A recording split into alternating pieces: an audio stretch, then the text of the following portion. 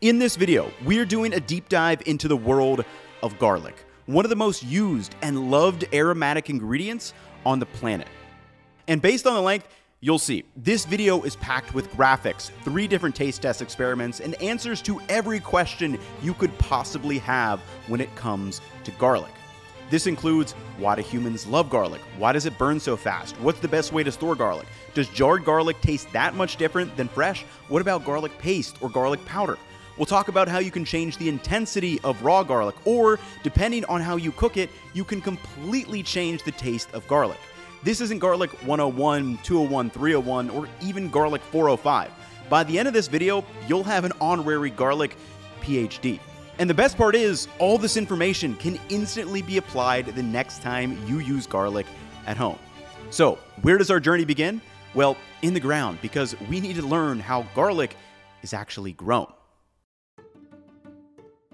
Before we get deep into the testing and test candidates, we need to first understand what is garlic, how is it grown, and why is it almost universally loved around the world. Garlic is an allium grown by propagating single cloves, which grow back into a full head with a sprouting stalk and flower, and this is known as a garlic scape. Any emerging scapes are cut off before they can flower, so the plant can send all its energy back down to the bulb and produce more cloves. And eventually, the stalks begin to wither and brown, at which point the bulb is plucked out of the ground for harvest and they are ready for curing. Now, I didn't know that the garlic we buy at the grocery store is actually cured, but it's a super important process that begins to explain why garlic is used in so many cuisines around the world. To cure the garlic, the excess soil is brushed off from the harvested bulbs, and they are then strung up to hang in a dry, well ventilated area for about two to four weeks, during which two important changes happen. First, the outer layers of the bulbs dry, which forms a protective, papery skin. And secondly, the flavors of the cloves themselves intensify during these couple of weeks. Because that papery protective skin forms, this means that garlic and other alliums like onions and shallots are a readily available year-round crop that can be stored for weeks and months at a time in warehouses, supermarket shelves, and right in your pantry. Speaking of, do you know the best way to store garlic? Well, for optimal storage, whole garlic heads should be stored in a cool, dark place like your pantry, not the fridge or counter, because excess moisture or light will speed up molding and sprouting. And without this cured dry protective layer, garlic cloves actually mold and spoil really fast. I know peeling garlic can be a pain, but keeping those heads or cloves intact helps preserve them. For example, have you ever seen these packs of pre-peeled garlic? While they seem super convenient, I bought them like twice in my life and have been completely burned both times. I use like a third of the bag pretty quick, but then I just toss it into the fridge and then it gets moldy really quickly, much faster than a whole head of garlic just in my pantry. And I know that I can't be the only one who has been burnt on those pre peeled cloves. The one caveat is if you need a lot of garlic fast and have a specific use case, this might be what you grab. For example, a lot of restaurants will use this, but it's really hard to use up all these garlic cloves at home unless you make some garlic confit, which I'll show you a bit later. Now, pre peeled garlic poses another problem, and that is it allows the garlic aromas and flavors to quickly fade to the air. And this brings us to understanding the flavor qualities of fresh garlic. Did you know that you can change the flavor intensity of garlic depending on how you prepare it? You see, just like onions, leeks, and shallots, garlic's flavor is released when the cells are damaged, and the more cells that are damaged, the more of the signature flavor is released. For example, here are five different prepped garlic cloves. One is peeled whole, one is crushed in half, one is sliced, one is minced, and one is grated into a paste. Now, garlic's flavor compounds are primarily fat soluble. So, if you were to mix in some room temperature olive oil or melted butter into these, then strained off the garlic solids and dipped in some bread into the oil, you're gonna have five wildly different experiences. The garlic sickos are gonna love the pungent, tingly bite from the oil made with the garlic paste, while the oil made with the whole peeled clove is gonna taste like no garlic was ever used.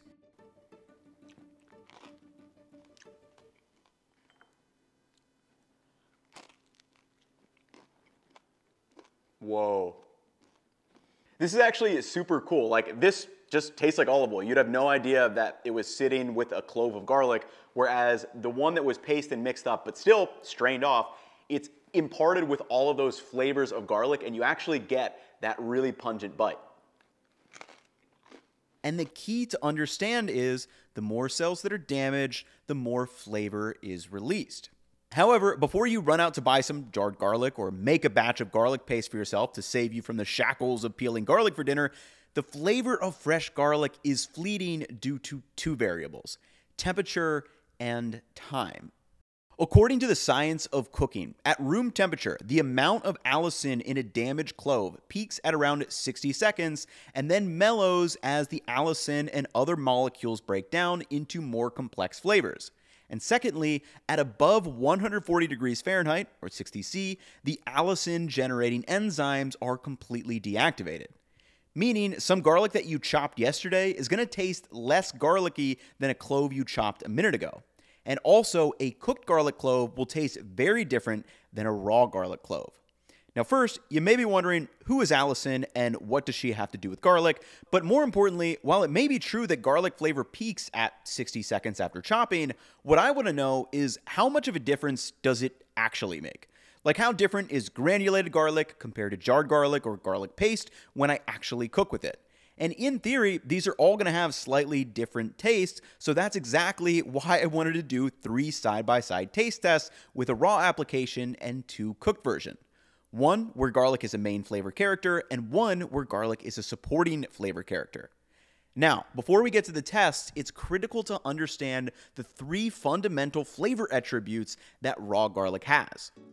But first, let me tell you about my favorite olive oil, which is a recurring character in this video from today's sponsor, Graza. I'll keep this simple. I like Graza for these three reasons. First, it's really great olive oil at a fair price. I actually used Graza as one of the test candidates in the olive oil deep dive video five months ago, and it competes right on par with far more expensive options. Reason number two is their dedication to transparency and olive oil education. As I learned, buying olive oil at the store can be really confusing, and Graza makes it really easy to understand. Their extra virgin olive oil is made with single origin Picual olives that is never blended, but depending on when the olives are picked, leads to two very different oils. For example, you'll understand why I use the drizzle as a finishing oil for the panzanella test and the sizzle oil I use for cooking in the aglio e olio test. And reason number three, the squeeze bottle is a nice quality of life improvement that makes you feel like a chef in the kitchen. So if you want to try Graza for yourself, head to the link in my description to purchase the drizzle and sizzle combo pack. And thank you again, Graza, for sponsoring this video. At a high level, these six properties make up the flavor of food taste, aroma, texture, physical reaction, sight, and the human element.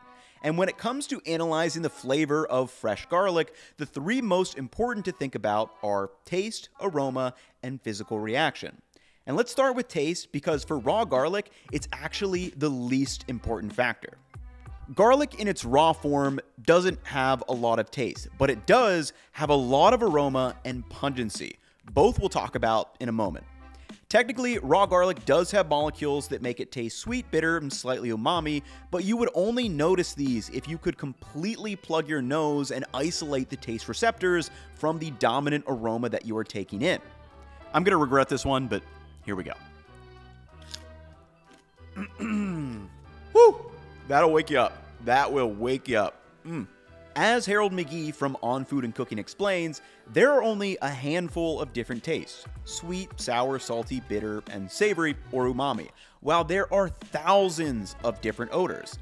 And it's odor molecules that make an apple taste like an apple, not like a pear or radish. If our nose is blocked by a cold or pinching fingers, it's hard to tell the difference between an apple and a pear, so most of what we experience as flavor is actually odor or aroma.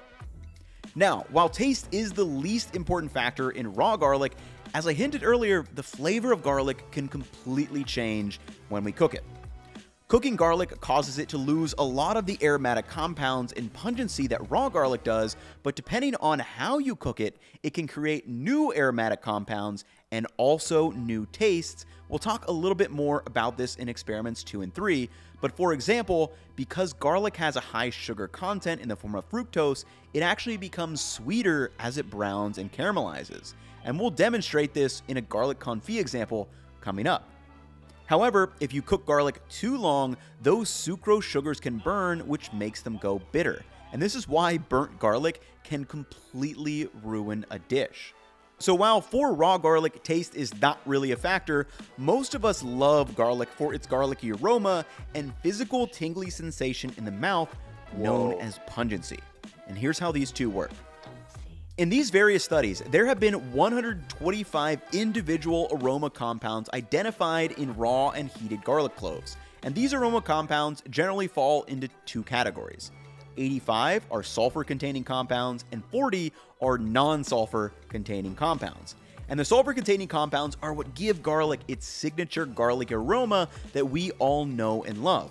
And there is one specific aroma molecule from the thiosulfonates that is the key, and you should be able to guess this is allicin. Allicin is an organosulfur compound or a distinct sulfur containing structure that is responsible for the signature aroma of garlic. But interestingly enough, allicin isn't actually present in whole garlic, but it's formed through an enzymatic reaction when the cloves are cut, crushed, or minced. So, how exactly does allicin form? Well, the allyl sulfurous molecules is kept separate from the allinase enzyme in the intact structure of a garlic clove. However, when the garlic cell walls are ruptured, the two come into contact to form the pungent allicin. Thus, the more garlic cells that are crushed and ruptured, the more these two compounds are brought together and the more allicin is produced, resulting in a much stronger garlic aroma and pungency. And this is exactly what we saw earlier with the whole, crushed, minced, and paste garlic. Now, again, there's two things to keep in mind here. The amount of allicin peaks at around 60 seconds before mellowing out over time. And secondly, at above 140 degrees Fahrenheit, the allicin generating enzymes are deactivated. And this is why raw garlic gives us that fiery irritation that us garlic sickos love, but it's not present after cooking garlic. This brings us to the physical reaction side of things, where we have two questions to answer. One, why does garlic cause us irritation? And secondly, from a psychological perspective, why do humans like food that cause pain and irritation? All alliums do have sulfurous pungent compounds whose original purpose was actually to deter animals from eating them. However, humans did not agree. And pungency is neither a taste or smell, but actually a general feeling of irritation that verges on pain.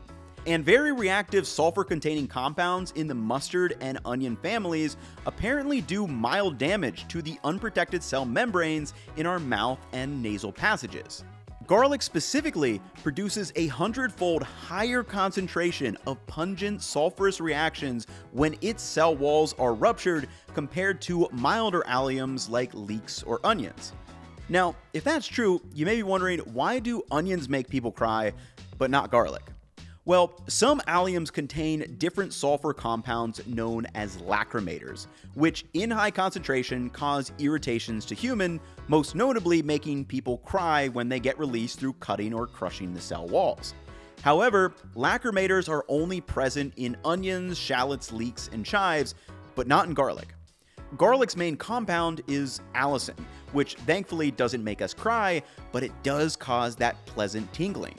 Which leads me to the next question why do humans like food that cause us pain and irritation? For example, why do we enjoy the sting of wasabi, ginger, garlic, hot peppers, or eating a spicy bag of chips? Well, it turns out that eating spicy or pungent foods is kind of like going on a roller coaster or jumping into a frigid lake. While pungent and spicy foods do send signals of pain and irritation to our brain, our minds recognize that this situation isn't truly dangerous. So, when on a roller coaster or eating a spicy curry, we savor those stimulating sensations for their own sake and find pleasure and novelty in them. And then after eating these types of food, as noted in On Food and Cooking, the sensation of pain may also cause pain relieving body chemicals that leave a pleasant glow when the burning fades. And additionally, we may also enjoy spicy food because irritation adds a new dimension to the experience of eating. In other words, pungent garlic is stimulating in a dish. It makes our food less boring. And I'm thinking we should probably do a deep dive into spicy and irritating foods. But first, let's put some of this garlic theory that we've been learning about to the test. So remember, we have only been zoomed in on using garlic raw because these flavors can change substantially when they're cooked. So before we dive into the cooked garlic, I want to use raw garlic in a side by side taste test. However, instead of testing chopped versus paste versus sliced, that's more of a personal preference thing based on your love for garlic. I wanted to test fresh garlic against some of the convenient prepared options to see how much of a difference there actually is between something like fresh garlic, jarred garlic, and granulated. So I did that by making one of my favorite summer salads, panzanella. For this test, I made one big batch of panzanella components by slicing up a crusty loaf of sourdough bread into thick sheets then into planks, and lastly into cubes before tossing them into a bowl. Next, I sliced a bunch of cherry tomatoes in half using the deli lid trick before adding a big sprinkle of salt to internally season them and draw out excess moisture. Lastly, I sliced up one fourth of a red onion into slices, and after prepping this, I tossed the bread into a bowl along with the tomatoes, onions, some fresh sliced basil, and some shaved Parmigiano Reggiano. Now, the raw garlic comes into play with the vinaigrette.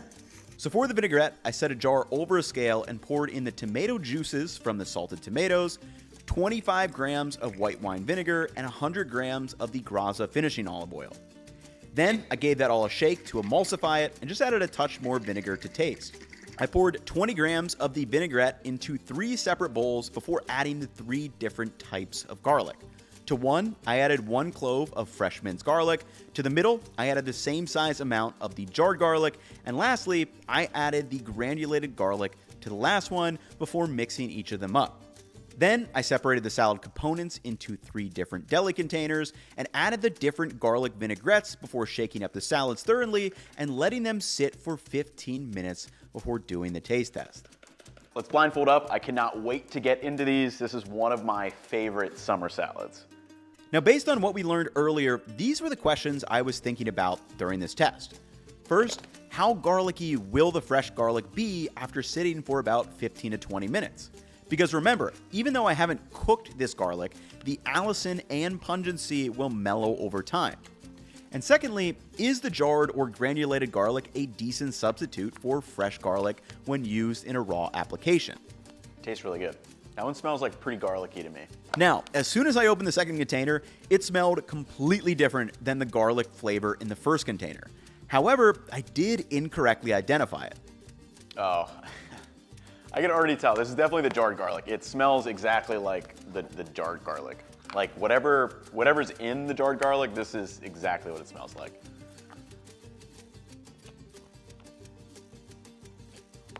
It's got that very distinctive like smell and like whatever it's packed in, it, it's very distinctive, and that is definitely the jarred garlic. When I got to the third container, I wasn't really getting much garlic flavor at all. I was just tasting the other components. But then when I went back to the first container, it was even clearer that this was the fresh garlic because of that pungent tingle. In this test, supremely obvious which one is which. I, will put money down like fresh, jarred, granulated, no question. This fresh one, you get the little tingle around. So like if you love that garlic, you're gonna get that. Now, my microphone died before I got rid of my blindfold, and I ended up talking to the camera for a couple of minutes where I recapped my key observation from this test, which was the fresh garlic was the only one that caused the physical reaction of pungency on my lips, and it was easily my favorite, and I was able to clearly identify it. But ultimately, this test left me wanting to figure out three questions. One, why did the jarred garlic taste the least garlicky of all three? Two, why did the granulated garlic change flavors so significantly that it confused me? And three, how will these garlic flavors change when I use them in a cooked recipe? So, before we get into experiments two and three, we need to do some digging into how these form factors are actually made and if they're ultimately worth keeping in our pantry. Because after this first test, I'm definitely not impressed. These are the four common garlic products you'll likely find at the grocery store. Obviously, number one is fresh garlic. Two is dehydrated garlic, such as garlic powder or granulated garlic. Three is jarred garlic, which is in a water based solution. And fourth is garlic paste, which is usually in a tube and is primarily mixed with oil. Now, obviously, these aren't going to taste exactly like fresh garlic, but instead, the selling point is convenience. And you can almost envision the TV infomercial for this, where there's one guy struggling with the papery fresh garlic and mincing it up, while the guy next to him opens up his cool looking jar and throws a spoonful of already chopped garlic into his pan. Now, after the first test, there's no way I would substitute the jarred garlic for the fresh stuff, but remember, cooking could change that whole equation in experiments 2 and 3. So let's actually take a look at what's inside each of these garlic products. One of the most popular forms of garlic is in dried form, either powdered, granulated, or minced. And gram per gram, dried garlic powder actually has a stronger singular flavor than fresh garlic because the drying process completely removes the moisture and concentrates the essential garlic aromas. However, the flavor of dried garlic powder is slightly different from fresh garlic. While it still has the garlic flavor, some of the more delicate aromas like allicin may be lost during drying, making the flavor less complex than fresh. And it's a similar concept to how imitation vanilla is made with super high concentrations of vanillin, while real vanilla has a wider range of aroma compounds. Now, you may be wondering, does it matter if you buy powder, granulated, or minced dry garlic? Are they basically all the same? Well, they are similar, but I actually think the minced dried garlic might be the best option for home cooks. Let me explain. Dried garlic products can be made by freeze drying or dehydrating garlic at low enough temperatures below 140 degrees so the allicin producing enzymes won't be deactivated. And you can find dried garlic in the following form factors. The finest texture is garlic powder, and true garlic powder is ground to a fine flour like consistency and it spreads easily throughout the dishes. However, because of this, it loses its aroma quickly due to more surface area being exposed to oxygen. And if you buy this, you want to make sure you keep it sealed in a dark place and use it up within a few months. And you can check out my spice guide and storing guide for more info on this. The middle texture is granulated garlic. Now, sometimes at the store, granulated garlic is also called garlic powder, but it's ground a tiny bit coarser to about a sand consistency. And this is the Goldilocks of dried garlic, probably what most of you have at home and what I'm used to using. However, that may change because of form factor 3, and that is minced dried garlic. These are the coarse pieces of garlic like you would find on an everything bagel. And you can think of them as the whole peppercorns of garlic powder, which have two unique benefits. First, versatility. These can be used whole or you can crush them up into a powder before using. And secondly, longer storage. Whole spices in general stay fresh for longer than fine ground powders due to less exposed surface area and volatility. So, unless you are using the powder from earlier very often, this, in my opinion, is the best version for home cooks. Now, when it comes to using dried garlic products in your cooking, it really helps if you activate them or simply put, rehydrate them. So, America's Test Kitchen recommends mixing garlic powder in a bit of water before cooking with it, which makes for a much more potent end product. And adding dried garlic straight to oil or butter means it won't get a chance to rehydrate and release its maximum flavor. Now, you don't actually have to pre-mix it in a little bowl of water, as garlic powder will often rehydrate during the cooking process when it comes into contact with wet ingredients. For example, in the panzanella test, it rehydrated with the tomato water and vinegar in the vinaigrette. And this is my theory on why I confused the jarred garlic and the granulated. I was used to smelling the jarred garlic in the watery solution from the jar, and it simulated a very similar smell to the granulated garlic in the panzanella salad after it had been rehydrated. And surprisingly, the granulated garlic tasted more garlicky than the jarred stuff. And if you smell hydrated garlic paste right next to the jarred garlic paste, it's actually crazy how similar they are. Because dried garlic products are most flavorful when they are rehydrated, this allows that allicin to reawaken. Now, in experiment number two, the granulated garlic will be rehydrated with the pasta water in the pan, but I also ground the jarred garlic into a paste to see if I could get it to release more flavor. However, before we jump into those tests, let me quickly explain what jarred garlic and tubed garlic paste are. So, why is jarred garlic a thing? Again, this likely arose out of consumer demands for pre prepped ingredients and as a way to preserve garlic. So, how's it made? Well, jarred garlic is essentially pickled. It's pre minced and then preserved in a water and citric acid solution, and if you taste this liquid alone, it's pretty sour. Unfortunately, the acid breaks down the allicin and garlic flavors over time, and while the garlic won't mold or spoil easily, it also doesn't retain its full flavor. I kind of realized that pickled onions and jarred garlic kind of have a lot of similarities because these smell oniony ish, but I can literally eat a full bite of these no problem, and it really doesn't taste that much like onions. Now, the same thing happens with the jarred minced garlic. Now, will this change at all when it comes to cooking? I'm pretty skeptical, and I actually think this tube of garlic paste might be a much better option. So, why is garlic paste a thing? Well, squirting garlic into the pan is pretty damn convenient, and this is popular in a number of cuisines and here's how it's made. Essentially, there's two categories of this. There's water based, which is essentially the acidic jarred garlic just in paste form. And secondly, we have oil based, and this is the one that I'm using for testing today. The version I have is an Italian product that is kept from oxidizing by using oil. And on the ingredient list, there is garlic, sunflower oil, salt, extra virgin olive oil, citrus fiber, and citric acid.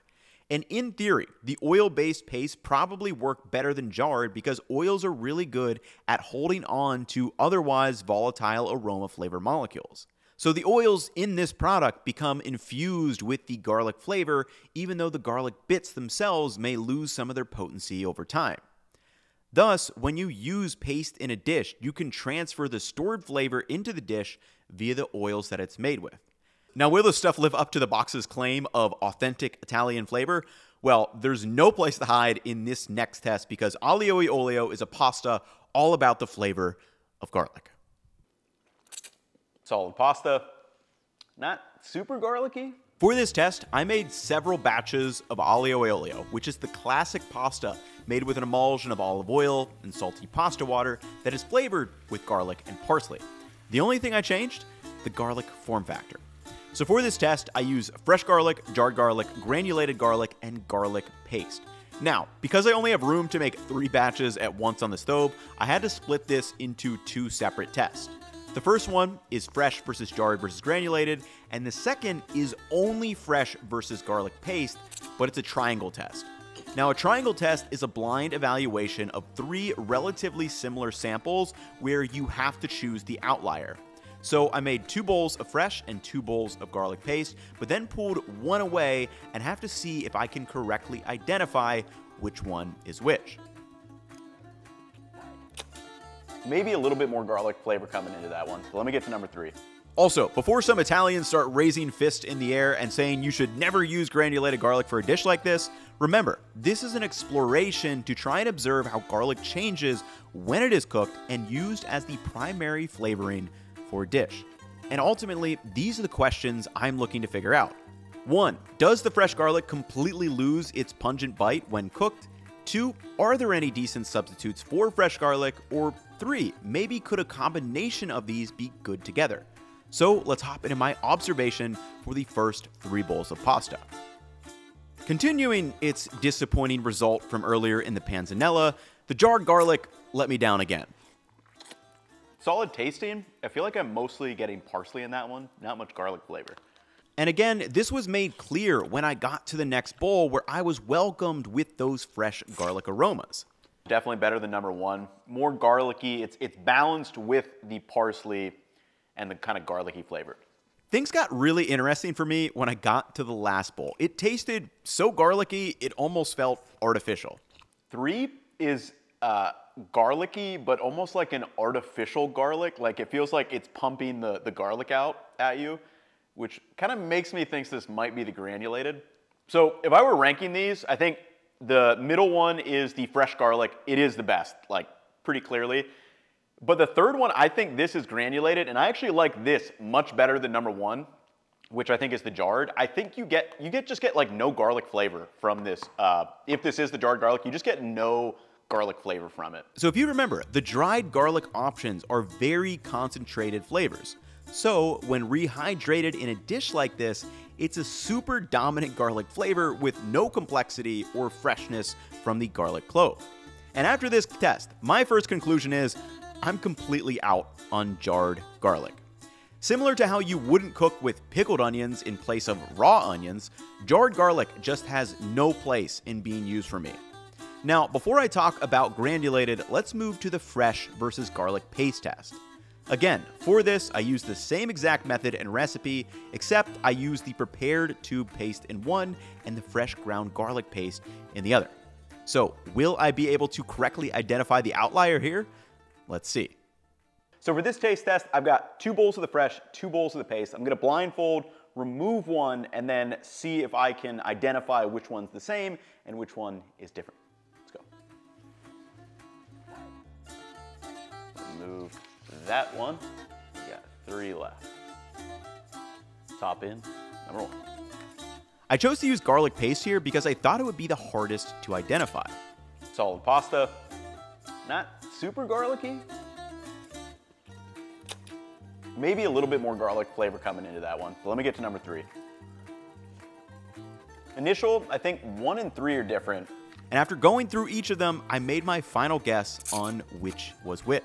Okay, so I think two and three are the same. And I think these are both the fresh garlic.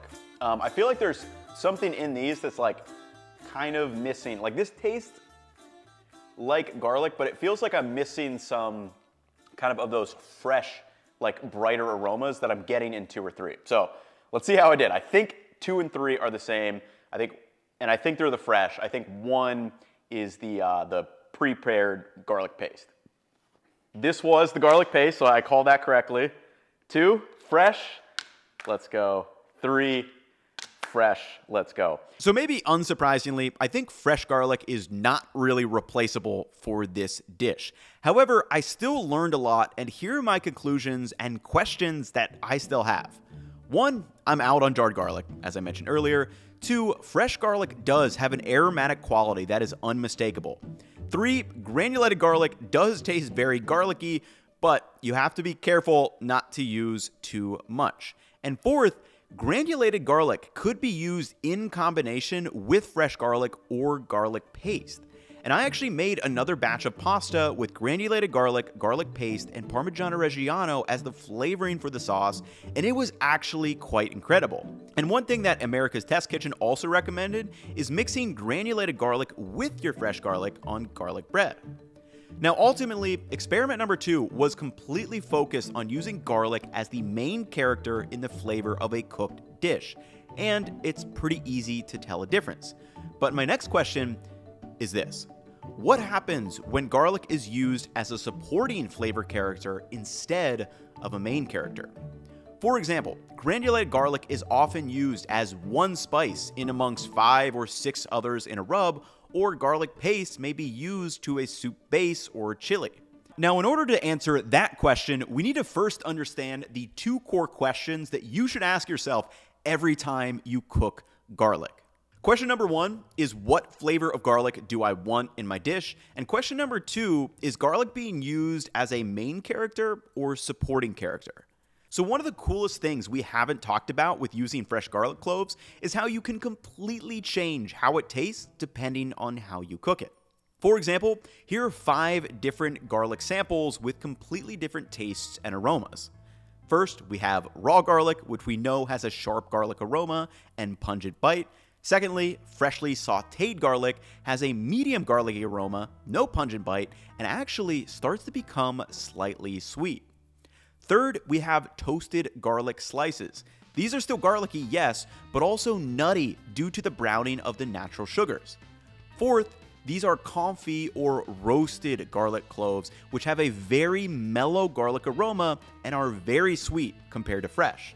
And far out on the spectrum is black garlic. Now, these are made by holding garlic cloves at a constant temperature of 130 degrees Fahrenheit for two to three weeks, rendering the cloves black as tar.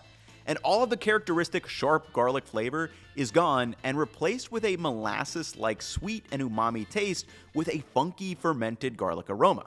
Now, we could probably do a whole video trying out all the things you can do with black garlic, but this really shows all the ways that the flavor of garlic can change depending on how you cook it. Now, one point of caution you can definitely go too far because garlic burns really fast. And if you have ever wondered why it burns so fast, here you go. According to On Food and Cooking, garlic has a much higher concentration of fructose and fructose chains when compared to onions. And additionally, garlic bulbs contain just 60% water compared to the 90% in onion. And both of these make garlic prone to drying out very fast over caramelizing the sugars and ultimately becoming burnt. Now, burnt sugar compounds like garlic fructose taste really bitter once they have gone past their caramelized state, which is why it will completely ruin and overpower the flavor of a dish. So, if you burn your garlic, in most cases, it's probably best to completely start over. Okay, so question number one also extends to the garlic form factor. For example, maybe a punchy granulated garlic might be what you need in a rub for barbecue. And then, after deciding that, question number two is the garlic flavor a main character or a supporting character? So, in the first two experiments, I would say we're using garlic as a main character. And to define that, I mean I can clearly pick out the flavor of garlic. For example, even though there are several components in the panzanella salad, I'm really after that pungent bite which only fresh garlic can provide. Additionally, in the aglio e olio test, it's really just garlic and the parsley. Now, other main character recipes could be garlic bread, garlic flavored hummus, garlic vegetable stir fry, or a garlicky rice. However, in most recipes, garlic is typically used as a supporting character where we want the aromatic qualities, but it's not the main flavor. So think about using sauteed garlic for a soup, stew, or chili, adding cloves of garlic to a braise, using garlic powder in a spice mix. And the question is does it make a difference if you use prepared garlic like powder or tube in place of fresh in a dish where it's just playing a supporting role? Well, ladies and gentlemen, this is the final taste test where we are making dhania or cilantro chicken, which is a recipe I've been meaning to try out for a long time and thought this was the perfect occasion. So as a cilantro lover, I've been waiting to try this dish and I thought let's let's make it a taste test. I think they're all going to be really really good, but I'm curious is there actually a difference between the fresh, the paste and the granulated garlic and how significant is that experience? Let's give it a taste. For this test, I made three identical batches of cilantro chicken, except with different garlic applications. I got rid of the jarred garlic completely and am using fresh garlic, tube garlic paste, and granulated garlic. The garlic is used in a ginger and lemon mixture that is rubbed directly onto the chicken before cooking. So I set a bowl over a blender and added a 4 inch piece of ginger cut into chunks, the juice from one half of a lemon, and a pinch of salt before blending that together into a paste. I then added the ginger mixture to my garlic candidates, fresh grated garlic, tube of paste, and the granulated, which will hydrate it once it comes together. Then I grabbed out two boneless chicken thighs each and added the ginger garlic mixture to the exterior. And as you can see, this is a very different use case for garlic because we haven't even made the sauce yet. For the sauce, get out the blender and add two Roma tomatoes chopped up, a couple of green chilies, a squirt of tomato paste, and half a bunch of cilantro, and lastly, some salt before blending that into a nice puree. Now, it doesn't look pretty, but this sauce is incredible in the cooked product. At the stove, I set three pans over high heat and added some neutral oil. Once hot, I added the garlic ginger pieces down and seared them. And as you can see, we are getting some nice roasted and toasted flavors of garlic, which are much different than the aglio e olio test. But more importantly, this cilantro sauce right here is the main flavor. After the chicken is seared, I pour the sauce over the chicken and let it bubble and reduce down. After a few minutes, the last step is to add some whole plain fat yogurt, which makes the sauce creamy and really rounds out the flavors. Then you just let that cook down until it's reduced. I chop the chicken into pieces and let's assemble. I added rice to three different bowls before adding on the cilantro chicken and a little fresh sprig of cilantro too. And with this test, I'm looking to answer this. One, do the dishes taste any different? And more importantly, if so, how different are they?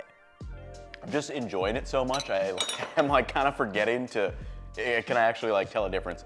So right off the bat, this dish just tastes really good. However, when I got to the second one, I did notice a difference in the flavor. This one maybe tastes a little bit more vibrant and fresh a little bit. A lot of flavors going on in this. It's just really good. Yeah, I think number two is, is more sour than uh, number one. Ultimately, after tasting all three, hmm. they taste great. But I am able to pick up on the difference in bowl number two. Man, they're all really good.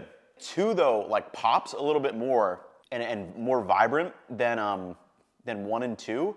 Like all three of them are so good though. Like I, I don't feel like I'm missing anything in my enjoyment of these. Um, but number two, I think maybe maybe that's the paste because I think the paste does have that sour quality to it.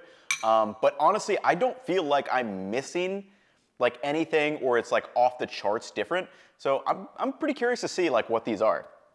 Number one was the, the paste. Number two, the fresh. So this, I, I did like this one the best. Um, and then number three, granulated. So this is pretty interesting. Number two, I liked the most. It was the fresh garlic. And it was kind of like fresher, brighter, I, sour. Maybe I wasn't identifying that correctly. I don't know. But there was a quality, and, and number two, that I picked out differently than kind of one and three. That being said, I don't feel like I'm missing the garlic, the fresh garlic with any of these.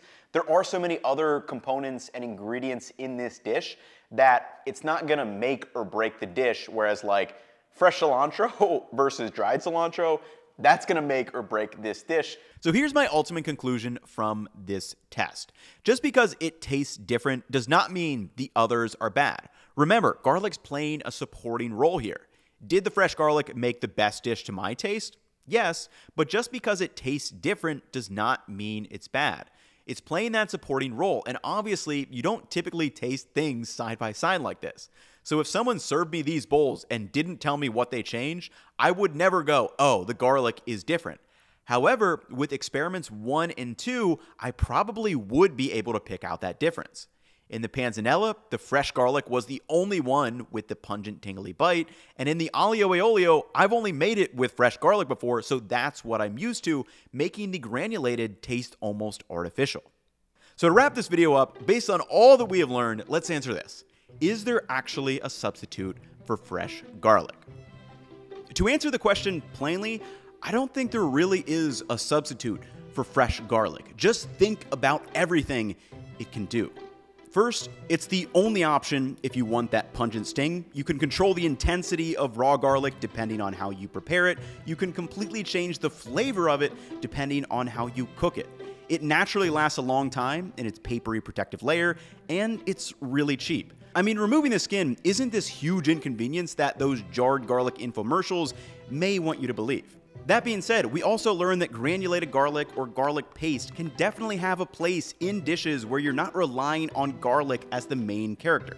Anyway, I think this is the longest video we've ever done, and it was definitely a team effort. Spencer, my editor, did a ton of work pulling this whole edit together, and then Keith, who writes our newsletter, also helped me a ton with the research and kind of helping me piece together this entire script. Also, thank you to Graza for sponsoring this video. That link is down below. And if you guys want more videos like this, I am happy to do them. I find them really fun. They do take a lot more work, but yes, they are very fun. So let me know down in the comments. Anyway, that will wrap it up for me. Hopefully, you have learned everything you could possibly want to know about garlic, and I will catch you all in the next one. Peace, y'all. Mm, mm, mm. I don't know which one I want to finish first.